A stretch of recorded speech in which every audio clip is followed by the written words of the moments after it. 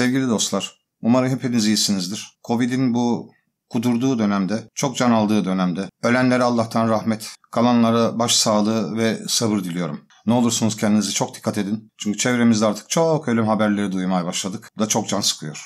O yüzden Sessiz olun. Yapmanız gereken her şeyi çok daha dikkatli yapın lütfen. Gelelim içeriğimize. İlk Prime Lens'inizi mi alacaksınız? Kendime şu soruyu sordum size doğru cevap verebilmek için. Makineme bir tane Prime Lens taksam, ömrümü onunla geçirmek zorunda kalsam hangi lens olurdu bu diye. 35 mm standartında 50 mm.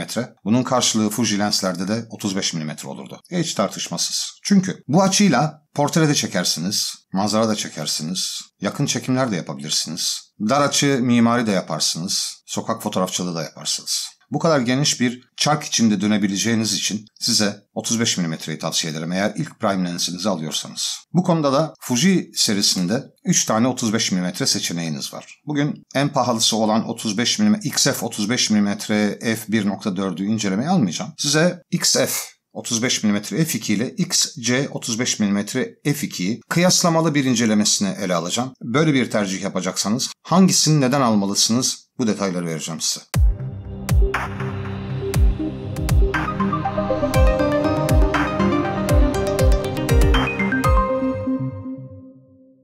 Ben Erdinç Çamaç. Fotoğraf çekmek kolaya hoş geldiniz. Sevgili dostlar, XC mi, XF mi? Aralarındaki fark nedir? Önce isterseniz fiziksel yapılarına gelelim. XC'den başlayalım. XC'nin fiziksel yapısı XF'den çok daha hafif olmakla beraber bunun nedeni daha plastik bir yapıya sahip olması. Hatta tamamen neredeyse plastik bir yapıya sahip. Dış gövdesi plastik. Bayonet kısmı plastik. Diyafram çarkı yok. Sadece bir tane geniş netleme çarkı var. Ve dolayısıyla da e, suya, neme, toza karşı bir dayanıklılık vermiyor size bu lens. Buna karşılık XF 35 mm f2 tamamen metal gövdesi, ayarlanabilir diyafram çarkı, netleme çarkı, metal bayonetiyle ve WR özelliğiyle yani neme, suya, toza, dayanıklı artı eksi 10 dereceye kadar çalışabilme özelliğiyle dış farklar olarak karşımıza çıkıyor. Her ikisinin de içi birbiriyle tamamen aynı. İki tanesi asferik olmak üzere 6 kümede toplanan toplam 9 lensi sahip. Her ikisinde son derece hızlı otofoküs becerisi var. Ama otofoküsleri fotoğraf çekerken birazcık böyle hani şey gibi düşünün. Bir arslan, bir kaplan avın üzerine atlaman önce şöyle bir geri çek yakalar ya. Otaklaması biraz öyle bunun. Ki bunu biz videoda çok sevmeyiz. Bunu ön, önlemek için şu ayarı tavsiye edeceğim size. AFC özel ayarlarından hassasiyeti artı 2'ye çıkartıp fokus hızını da eksi 3'e indirirseniz o zaman çok daha pürüzsüz bir video geçiş sağlarsınız.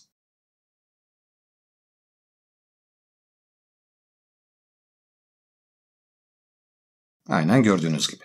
Evet, şimdi isterseniz bilgisayar başına geçelim ve her iki lensle çektiğimiz kareleri kıyaslayarak gidelim ki hem netlik becerisini hem de lensin en keskin noktalarını da böylelikle saptamış oluruz. Ve başka resimlerde de biraz daha incelemeye almış oluruz.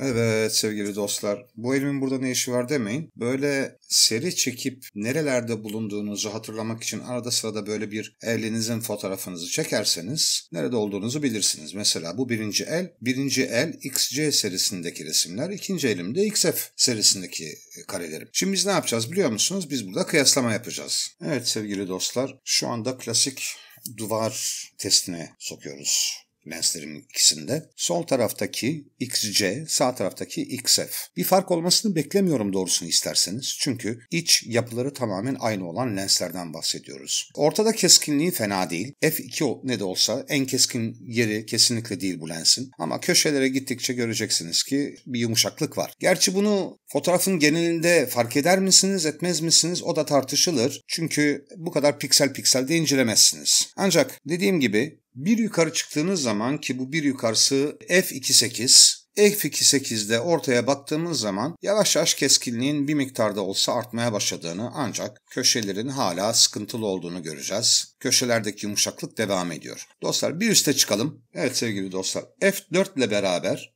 göreceksiniz ki lens özellikle orta segmentte yani karenin ortasında bayağı kendini bulmaya başladı ve keskinliği de oldukça düzelmeye başladı. Hatta köşelerde bile ciddi bir düzelme olduğunu göreceksiniz ve yumuşaklığın artık iyice buralara kadar düştüğünü göreceğiz. Ve geldik f5.6'ya. f5.6'da artık keskinlikte bir sıkıntı olmadığını, bu sağdakinde benim hatam olması lazım. Herhalde hafif bir titreme var. Rüzgardan olsa gerek. Yoksa e, aynı sonucu görürsünüz. Şu ana kadar iki lens arasında hiçbir fark e, yoktu çünkü. Artık yavaş yavaş lens bu f5.6'da köşede de kendini bulmaya başladı. Yani sweet spot dediğimiz tatlı noktasına şu anda ulaşmış vaziyette. Ve bu sweet spot tahmin ediyorum ki minimum bir f11'e kadar da devam edecektir. İlginç bir lens çünkü bu. Şimdi biz hemen bir f8'e doğru tırmanalım. Evet sevgili dostlar şimdi f8'e geldik. f8'de muhtemelen en keskin halini göreceğiz lenslerin. Ben size bir şey söyleyeyim mi? XC hafif daha keskin şu anda. Beni şaşırttı şu anda yani. Ben de sizinle beraber ilk defa inceliyorum bunları bu kadar yakın. XC'nin hafif daha keskin olduğunu görmeye başladım ki XF oldukça keskin bir lenstir. Şu ana kadar hiçbir sıkıntım olmadı. Özellikle köşelerde de artık bütün detaylar iyice ortaya çıktığını görüyorsunuz. Ha yok köşelerde bu sefer XF birazcık daha dengeli gözüküyor. Ha demek ki küçük bir fark var. Sevgili dostlar. Ama bu fark o kadar minimal ki yani e, bunu ancak bu kadar yakın, bu kadar derine baktığınız zaman anlıyorsunuz. Sevgili dostlar, F11'e bakalım şu anda. F11'e baktığımız zaman F11'de de aynı keskinliği sürdürüyor lens. Köşelerde de herhangi bir bozulma görmüyorum. Bakayım bir yumuşama var mı? Henüz bir yumuşama yok. Ya çok minimal var, belli belirsiz. F13'te o keskinliğin devam ettiğini hafif bir yumuşamayla beraber ama çok minimal bir yumuşamayla beraber köşedeki köşedeki keskinliğin yavaş yavaş kaybolmaya başladığını görüyoruz. F16'yı sadece XC 35 F2'de inceleyeceğiz. Orta yine çok fena değil yani kötü değil. Bakalım köşelerde bakalım bozulma var mı? E, köşelerde de minimal bir bozulma elbet var. Tabii bütün bunlar gösterdiğim e, sizlere doğal olarak e, çok piksel piksel bir e, inceleme oldu ve hiçbir düzeltme yok. Bu lensi neden sevdiğimi söyleyeyim size. Çünkü birçok şeyi çekebiliyorsunuz. Hani manzara tarzı fotoğraflar çekebiliyorsunuz ki bunları yavaş yavaş büyük olarak görmeye başlayalım. Yani lens keskin mi? Keskin arkadaşlar şimdi. Kimse bana keskin, bu lens keskin değil falan demesin. Lens keskin ve çok güzel renk render ediyor. Renklere hiç dokunmadım. JPEG'tir bunlar. Standart Provia'da çekilmişlerdir. Yani o renk profilinde çekilmişlerdir. Close-up bir çekimdir bu. Yine aynı şekilde çok hafif bir e, sharpen var demeyeceğim ama çok hafif bir düzeltme var bu resimde.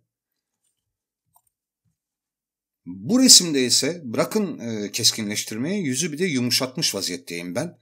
Buna rağmen yani bu lensin başarısını göstermek açısından zannediyorum iyi bir portre fotoğrafı olur. Artık e, sevgili Fatih kardeşimizin yakışıklı bir arkadaşımızdır. Çok da sevdiğim bir kardeşimdir. Gördüğünüz gibi çok da güzel gözleri var. Ama artık yani bütün derisindeki en ufak deliği gö- gösterir vaziyette lensteki keskinlik. Ayrıca fark ettiyseniz benim için lenste önemli bir olay daha var. Şu bokeh çok güzel, çok yumuşak ve hani yuvar, yuvarlak bokeyi elde ediyorsunuz. Ki gerçekten çok güzel bir görüntü veriyor. Ben Benim çok hoşuma gitti. Bakalım başka size göstereceğim herhangi bir kare var mı? Kimseyi rahatsız et. Evet var. Şurada çok güzel bir dostumuzun resmi var. Çok sevimli, çok güzel bir cici bir köpeğimiz, hoş bir Rottweiler'ımız var. Evet, bu da XJ35 F2 ile çekilmiş vaziyette. Ve bu karelerin %90'ını zannediyorum F2'de çektim. Evet, F2'de çekmişim ben bunu. Bir o bir daha kontrol edelim kaçta çektiğimi. Bir saniye, özür dilerim yanlış bir şey söylemeyeyim size. Yok buradan da belli oluyor zaten. Evet arkadaşlar F2'de çekmişim ben bunu. Yani normalde lensin netlikteki en zayıf yeri gibi. Ama gördüğünüz gibi işte öyle bir şey işte öyle bir şey yok yani. Tekrar bakalım şeyi Fatih'in portresine. Fatih'in portresine bakalım. Daha yakın bir portresine. Bunu da F2 ile çekmişim. Ve bunu da F2 ile çekmişim. Yani F2'de dahi keskinliği gayet yeter. Üstüne üstlük dediğim gibi bir de yum, ben yani cildini yumuşattım. Devam edelim. Son olarak da size çok güzel böyle bir çiçekler göstereyim. Yakın çekimde de oldukça başarılı. Bunlar çok küçük çiçekler yani şey zannetmeyin. Dolayısıyla bu lensin de neler yapabildiğini göstermek açısından zannediyorum iyi bir video oldu sevgili dostlar. Şimdi kapatalım bunu ve dönelim sonuca. Evet sevgili dostlar sonuca gelelim. Keskinlikte, mikro kontrastta, color rendering dediğimiz renk tercümesinde aynı başarıyı gösteren bu iki lensi neye göre almalısınız? 1. Fiyata göre. Eğer ki bütçeniz kısıtlıysa elbette XJ'yi alacaksınız. Ancak oldukça yeni olan bu lens için sağlamlık ya da ömrü hakkında herhangi bir yorum yapmam samimiyetle doğru olmaz. 2. WR yani hava koşullarında dayanıklılık olmazsa olmazınızsa. Valla ben zırt pırt lens değiştiriyorum benim için bayonetin sağlam olması önemli diyorsanız. Ben hava şartlarına bakmaksızın dışarı çıkar fotoğraf çekerim. Yağmurda da çekerim, karda da çekerim, tozlu ortamda da çekerim diyorsanız ve sizin için uzun ömür ve sağlamlık çok önemliyse o halde XF35 alacaksınız. Ancak hangisini tercih edersinizin? Kesin olan bir tek şey var. Fotoğraf kalitesinde, size sağladığı açıda, size vereceği zevk ve yaratıcılığınıza katacakları konusunda sizi kesinlikle pişman etmeyecektir. Benim gerçekten fotoğraf çekeceğim zaman ilk aklıma gelen lens bu. Sevgili dostlar, umarım bu bilgiler faydalı olmuştur ve aklınızdaki bir takım sorulara da cevap alabilmişsinizdir. Videoyu sonuna kadar seyrettiğiniz için öncelikle teşekkür ederim. Bu emek bunu hak etti diyorsanız beğenme butonuna basmayı, hala abone değilseniz abone olmayı lütfen unutmayın. Bu kanalın büyümesine yardımcı olur. Bu içeriklerin bir an önce daha geniş kitlelere yayılmasını sağlarsınız. Şimdiden teşekkür ederim. Başta da söylediğim gibi Covid'in kudurduğu ve çok can aldığı bu dönemde lütfen kendinize çok dikkat edin. Huzurla kalın ama sağlıkla kalın. Hoşçakalın. Ben Erdinç Omaç. Fotoğraf çekmek kolay. Bugünlük bu kadar.